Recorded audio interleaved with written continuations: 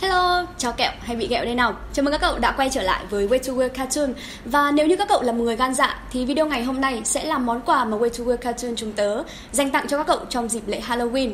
À, Hoạt hình thì vốn dĩ là dành cho trẻ em Thế nhưng sẽ luôn có những giây phút Hay là những tập phim đặc biệt rùng rợn mà các nhà sản xuất đã làm ra Phục vụ cho những dịp đặc biệt như thế này và ngày hôm nay sẽ là 5 tập phim rùng rợn nhất mà chúng tớ gợi ý cho các cậu để có thể ờ, xem tại nhà nhưng mà vẫn đảm bảo là tận hưởng được cảm giác lạnh tóc gáy của mùa lễ Halloween năm nay. Bắt đầu luôn nhá. Let's go. Tập phim này cũng không quá đỗi kinh dị, nhưng nó vui và mang không khí Halloween nên rất thích hợp để giải trí. Thế nhưng cú plot twist ở cuối tập phim cũng khiến chúng ta cảm thấy vừa giật mình và buồn cười. Tập phim cũng được phát sóng vào dịp cận Halloween. Mở đầu với việc Clarence và đám bạn đang chơi đùa với nhau trong một ngôi nhà ma giả Thế nhưng chơi với ma giả của Clarence quá chán, thế nên một người bạn là Chelsea đã đề xuất là hãy đi chơi ma giả ở bữa tiệc của anh mình tên là Clary. Nhưng dù thế nào nó cũng chỉ là ma giả, nên họ đã có quyết định táo bạo hơn là đi chơi ma thật ở một căn nhà bỏ hoang trên đồi gần đó. Cuộc phiêu lưu của họ ở trong này sống động như thể là có ma thật. Thậm chí còn có một chiếc bóng trắng vụt qua mặt họ, khiến cho một người trong nhóm là Chelsea đã phải khóc thét. Tuy nhiên cuối cùng, mọi thứ lại chỉ được dàn dựng bởi một nhóm người già sống tại nơi này. Nhưng mà cuối phim, một bàn tay đầy lông lá đã thò ra từ tủ quần áo. Liệu đây có phải là người đóng giả hay không? Tớ không biết nữa, bởi vì tớ cũng dù lắm. Một ứng cử viên đến từ Adventure Time và lần này có thêm cả Phineas Stanford. Sở dĩ, tớ cũng cho hai tập này xếp cùng một vị trí là do chúng cũng có cốt truyện gần giống như nhau.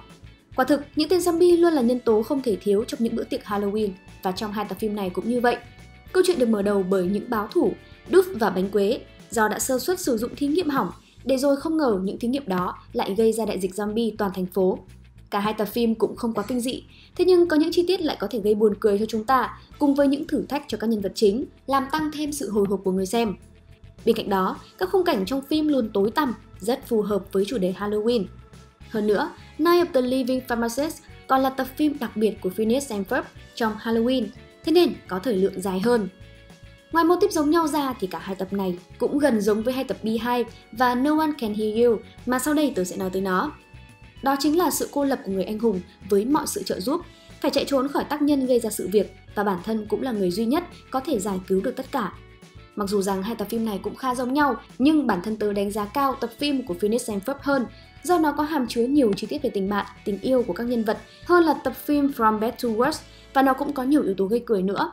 Tóm lại thì chúng đều không quá đáng sợ, nhưng với mô típ chuyện như tớ vừa nói, cũng như có không khí Halloween được pha trộn trong phim, thì tớ nghĩ cả hai tập phim này là hoàn toàn thích hợp để chill trong mùa Halloween nhé. Goku ăn mật ong ngư Oh no, Halloween năm nay của chúng ta sẽ nhường sân khấu cho ba chú gấu nhà We Bears nhé. Chắc hẳn là các cậu cũng hơi chút bất ngờ khi ứng cử viên We Bears lại được liệt kê vào đây phải không nào? Không bất ngờ lắm đâu, và đây sẽ là lý do. Tập phim của We Bears hôm nay mà chúng tôi muốn nhắc đến là tập phim Beehive Cá nhân tôi thấy đây là một tập phim cũng na ná với tập No One Can Hear You của Adventure Time, nhưng nhờ phong cách làm phim có phần gần với đời hơn và hài hước hơn nên độ kinh dị đã được giảm xuống một chút. Thế nhưng như tôi đã nói, thì cốt truyện của nó cũng gần giống như No One Can Hear You. Mọi thứ được mở đầu với một yếu tố ngoại cảnh là một chiếc tổ ong. Đây cũng là một trong số ít những tập phim mà ba chú gấu thể hiện bản tính hoang dã của mình, đó là bê cả chiếc tổ ong lên chỉ để tìm mật ong. Các chú gấu đã bị vị ngọt của mật ong mê hoặc, đến mức ăn liên mồm không rời, và chuyện gì đến thì cũng sẽ đến, ông chúa đã phải bước ra để giải quyết. Khi bà chú gấu nhìn thấy ông chúa thì đã bị thôi miên và đã bị biến thành thuộc hạ bất đắc dĩ của ông chúa. Cũng giống như Jack, ba chú gấu trở nên mất trí nhớ, cứ nghĩ mình là ong thay vì là gấu và cư xử rất khác thường. Mọi việc chỉ dừng lại khi kiểm lâm xếp đến ứng cứu kịp thời. Cũng như trong Adventure Time, cảm giác cô và mọi thứ đã bị cô lập trong rừng sâu, không ai có thể cứu và chỉ có cô là người có khả năng duy nhất để xoay chuyển tình hình. Hình phạt mà Thép suýt phải nhận trong tập phim này cũng khá kinh khủng, đó là cô sẽ bị ném xuống hố mật ong sâu thẳm. Trùng hợp là đây cũng là một công cụ trừng phạt ngọt ngào mà cũng không kém phần dã man giống như trong No One Can Hear You, đó là đường chảy trộn cùng với nước dãi con nai. May mắn hơn cho ba chú gấu và Thép là ông chúa cuối cùng cũng đã được khống chế hoàn toàn và không thể quay lại gây hại một lần nữa. Tuy đối với một số người thì tập phim này chưa đủ kinh dị, nhưng đó cũng là một trong những tập tạo rào cản khó chiến thắng dành cho nhân vật chính. Bonus cho các cậu một tập phim nữa cũng có cốt truyện khó khăn và đầy kịch tính như hai tập trên.